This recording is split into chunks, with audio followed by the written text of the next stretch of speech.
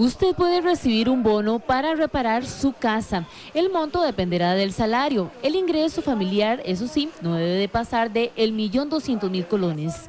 El Bambi todavía tiene disponible 3 mil millones. ¿Cuáles son esos requisitos precisamente tal vez para que la familia los tome en cuenta? Básicamente los mismos de un bono ordinario, conformar un núcleo familiar. Tener eh, hijos. Este, no digamos, pueden ser dos adultos mayores, puede ser una pareja. Eh, no tener propiedades a su nombre y que la vivienda sea propia. Eso es muy importante. No se puede tramitar un bono RAN en una vivienda alquilada. También está el bono para construcción en segunda planta. El lunes pasado aprobamos el primer caso de vivienda segunda planta. ¿Qué se necesita para tener una vivienda en segunda planta? ¿Los requisitos? Los requisitos son en, los requisitos administrativos los mismos que acabo de citar para un bono RAN o un bono ordinario.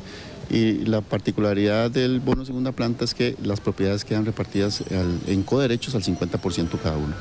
Ambos bonos usted los puede tramitar en las entidades financieras autorizadas por el Banco Hipotecario de la Vivienda.